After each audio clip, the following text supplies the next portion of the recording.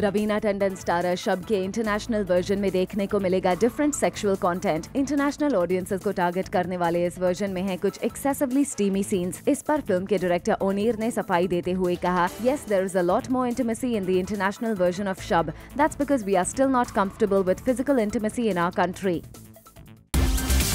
तीस में तीस।